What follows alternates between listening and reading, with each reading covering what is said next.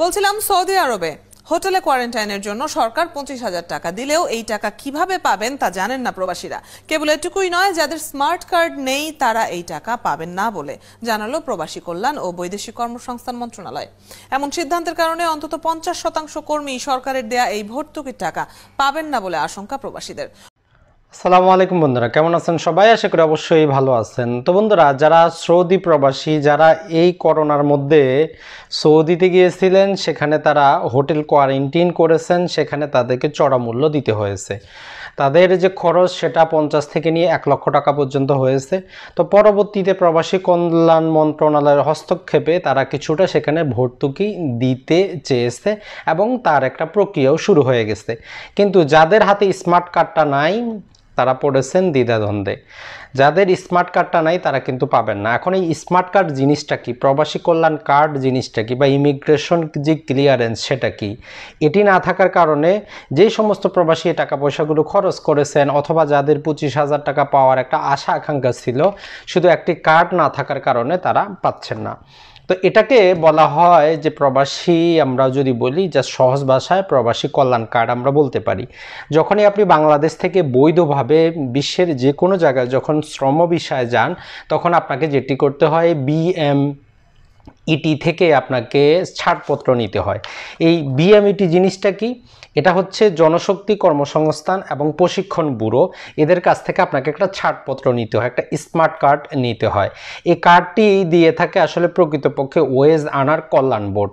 এই কার্ডটি নেওয়ার জন্য আপনাকে সাড়ে তিন হাজার টাকা সেখানে পেমেন্ট করতে হয়। আনুষঙ্গিক ফি সহ টোটাল চার হাজার টাকার মতো পেমেন্ট করতে হয়। এই যে টাকাটা আপনি দিয়ে আসেন, এটার বিনিময়ে বা এটা থেকে লাভ্যাংশ মুনাফা আপনি সারা জীবন কোনো দিনও কিছু কিন্তু পান না। যদি আপনি দেশের বাইরে দশ বছরও থাকেন, সুস্থ, সবল হয়ে যদি দেশে ফিরে যান, আপনি যে টাকাটা দিয়ে দিয়েছিলেন, সেটা কিন্তু আপনি কোনো পাবেন না। অর্থাৎ এক প্রবাসী অন্য প্রবাসী এরা এরকম করে যত এক কোটি প্রায় তিরিশ লক্ষের উপরে যে প্রবাসী আছেন, তারা এই রকম যারা বৈধভাবে এসেছেন, তারা এরকম একটা কার্ড করে এসেছেন। কিন্তু যারা দুই হাজার আগে এসেছেন অথবা যারা ভিজিট বিষয়ে চলে এসেছেন, তাদের কিন্তু এই কার্ডটা লাগে না। তো এই কার্ডটা করার জন্য কিন্তু সরকার মাঝে মধ্যে বিভিন্ন দূতাবাসের মাধ্যমে আপনাদেরকে আহ্বান জানিয়ে থাকে। তো আমরাও রিকোয়েস্ট করব আপনারা যেই দেশেই থাকেন, মোটামুটি প্রায় আমরা যদি দেখি এখন পর্যন্ত, যদি ম্যাক্সিমাম মিডল ইস্টের কান্ট্রিগুলো সহ সরকারের প্রায় তিরিশটির মতো শ্রম উইং আছে, অর্থাৎ দূতাবাস আছে, সেখানে আপনারা এই কার্ডটা করে নিতে পারেন।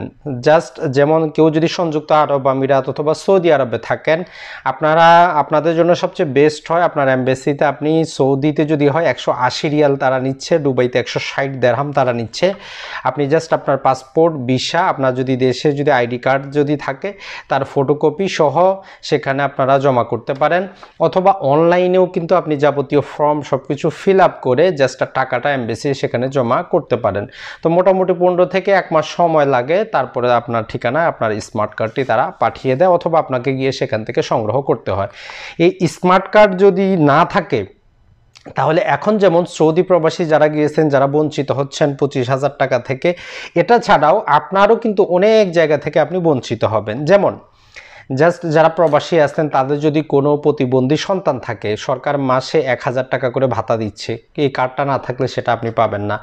যারা প্রবাসী আছেন, তাদের যদি মেধাবী ছেলে মেয়ে থাকে, তাদেরকে সরকার তিন ধাপে উপবৃত্তি দিচ্ছে। মাধ্যমিক, উচ্চ মাধ্যমিক এবং ভার্সিটি লেভেলেও বিভিন্ন প্রকার উপবৃত্তি দিচ্ছে, মাসিক ভাতা দিচ্ছে।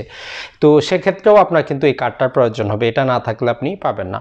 এটা ছাড়া আপনার যদি দেশের বাইরে অনাকাঙ্ক্ষিত যদি আপনি মারা যান, সেক্ষেত্রে যেটা হয়, আপনার মৃতদেহটা দেশে আনায়ন করা, এটা ছাড়া তার দাফন কাফন, এটা ছাড়া আপনি যে দেশের বাইরে মারা গেলেন, সেখানে যদি আপনার কিছু ডিউ থাকে, এই সমস্ত আনুষঙ্গিক কাজে হেল্প করার জন্য আপনি যখনই আবেদন করবেন, তখনই তারা বলবে, স্মার্ট কার্ডের নাম্বারটা বলেন অথবা স্মার্ট কার্ডটা দেন। এটা ছাড়া যেই তিন লক্ষ টাকা ক্ষতিপূরণ দেশের বাইরে যদি মারা যান, সেক্ষেত্রে এটা শুধুমাত্র যারা স্মার্ট কার্ড ধারিয়ে আছেন, যাদের এই প্রবাসী কল্যাণ কার্ডটা আছে, শুধুমাত্র তারাই পাবেন। যদি না থাকে, আপনি কিন্তু পাবেন না। আপনার হয়তো মনে হচ্ছে যে, আমার এই কার্ডটা না করলেও চলবে। কিন্তু কথা হচ্ছে, আপনি যেদিন থাকবেন, আচানক যখন আপনার, আপনি মারা যাবেন, তখন কিন্তু আপনার ফ্যামিলি যে একটা ফাইন্যান্সিয়াল ক্রাইসিসের মধ্যে যাবে, সেক্ষেত্রে তিন লক্ষ টাকা, পঁয়ত্রিশ হাজার টাকা এবং আনুষাঙ্গিক যে আরও বিভিন্ন প্রকার অনুদান এগুলো কিন্তু তাদের জন্য অনেক কিছু। তাই সময় থাকতে একটু সচেতন হন। যারা দেশের বাইরে অলরেডি চলে এসেছেন, যাদের এই কার্ডটি নাই, দয়া করে এমবেসির সাথে যোগাযোগ করে আপনারা করে নেন, যে দেশেই আসতেন আমি যেই তিরিশটির মতো তাদের শ্রম উইং আছে, তার লিঙ্ক দিয়ে দিব, আপনারা সেখানে কথা বলে নিতে পারবেন। করোনা ভাইরাসের মধ্যে যারা দেশে গিয়েছিলেন, প্রবাসী কল্যাণ ব্যাংক থেকে যারা লোন নিতে চাচ্ছিলেন লোন নিয়েছেন, আবেদন করেছেন, সেক্ষেত্রে যাদের এই যে কার্ডটি ছিল তাদেরকে কিন্তু প্রাধান্য দেওয়া হয়েছে। তো এই জন্য অবশ্যই আপনারা এই কার্ডটি করে নেন। এই কার্ডটি করার জন্য জাস্ট আপনার বেশি টাকা পয়সার প্রয়োজন নাই, বাংলাদেশি টাকায় সমপরিমাণ চার হাজার টাকার মধ্যে করতে পারবেন। যেমন বললামই আমরা, দুবাইতে একশো ষাট, সৌদিতে একশো আশি এবং আপনি অন্য যে দেশে আছেন, এই চার হাজার টাকা সমপরিমাণ আপনার সেই দেশের মূল্য। তো অনেকেই প্রশ্ন করেন যে, ভাই, আমি তো চোদ্দ সালে এসেছি, পনেরো সালে এসেছি, আমার আজ থেকে না কী করে বুঝব? তো কথা হচ্ছে, আপনি যদি দুই হাজার পরে যদি বৈধভাবে যদি আসেন, বাংলাদেশ থেকে ভিসা পেয়ে যদি আসেন, বাংলাদেশি কোনো ট্রাভেল এজেন্সি যদি আপনার ভিসা সব কিছু করে দেয়, আপনার যদি ছাড়পত্র থাকে, তাহলে আপনি বুঝেই নেন যে, আপনার কাজ, আপনার এটি হয়ে গেছে। আর তারপরেও যদি আপনার মনে হয় ডাউট হয়, তাহলে আপনি অনলাইনে যদিও তারা কোনো সিস্টেম কিন্তু রাখেনি, যে সিস্টেমটা আছে, সেখানে চেক করা যায় না। সেখানে যদি আমরা নাম্বারগুলো ইনপুট করি সেটা কিন্তু আসে না। তো সরকারকে আমরা রিকোয়েস্ট করব যে আসলে যদি এভাবে যাচাই করা যেত পাসপোর্ট নাম্বার দিয়ে অথবা আইডি নাম্বার দিয়ে, তাহলে অনেক প্রবাসী আসলে উপকৃত হতেন। তারা বুঝতে পারতেন যে আসলে তারটা করা হয়েছে কিনা।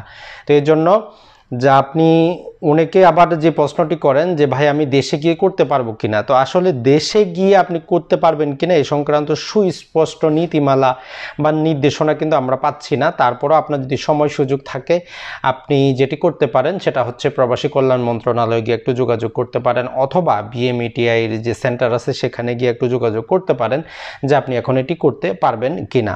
কারণ বাংলাদেশ থেকে করলে আপনি মাত্র তিন দিনে কিন্তু কার্ডটি পেয়ে যাবেন। কিন্তু আর দেশের বাইরে থেকে করলে তাদের, তারা কিন্তু বাংলাদেশ থেকে তৈরি করে আপনাকে দেয়। তো এই জন্য সময় লাগে। তো সরকারকেও আমরা রিকোয়েস্ট করব যাতে এই বিষয়টা আর একটু খোলামেলা করা হয়। এই সংক্রান্ত প্রচার প্রচারণা চালানো হয়। যাতে যারাই প্রবাসী আছেন তারা এই কার্ডটা করে নিতে পারেন। অথবা যারা প্রবাসী, যারা যান, তাদেরকে এয়ারপোর্টে বাধ্যতামূলকভাবে এই কার্ডটা কার্ডটা করার জন্য পাসপোর্ট কপি, ভিসা কপি নেওয়া যেতে পারে। সেখানে প্রবাসী কল্যাণ মন্ত্রণালয় বা প্রবাসী যে হেল্প ডেস্কটি আছে, সেখানে একটা অপশন রাখা যেতে পারে। তাহলে অনেক প্রবাসী হয়তো এই যে যেহেতু তাদের চাকরি থেকে ছুটি নিয়ে অ্যাম্বাসিতে যেতে হয়, এই ভোগান্তি থেকে তারা বাঁচতে পারবেন। তবে প্রবাসীদের একটা সুবিধা যেটা আছে, যারা পাসপোর্টগুলো আপনারা নবায়ন করতে দেন রেনুয়াল করতে দেন, সবচেয়ে বেস্ট হবে সেই সময় জাস্ট আপনি আপনি আবেদন করে দেন। তাহলে কিন্তু আপনার যে পাসপোর্ট নবায়নের জন্য আপনি এমবেসিতে গেলেন, একসাথে কিন্তু দুটো কাজই হয়ে গেল। আর সবচেয়ে দুঃখের যে বিষয়টি, সেটি হচ্ছে যারাই প্রবাসী ছিলেন, দেশের বাইরে ছিলেন, তাদের এই বাজেট থেকে অনেক আশা, আকাঙ্ক্ষা ছিল যে আসলে হয়তো প্রণোদনাটা বৃদ্ধি পাবে, হয়তো প্রভিডেন্ট ফান্ড বা পেনশনের কিছু ব্যবস্থা হবে। কিন্তু আমাদের অর্থমন্ত্রী সেই সব আশার মধ্যে উনি গুড়ে বালি করে দিলেন। অর্থাৎ কিছুই হচ্ছে না।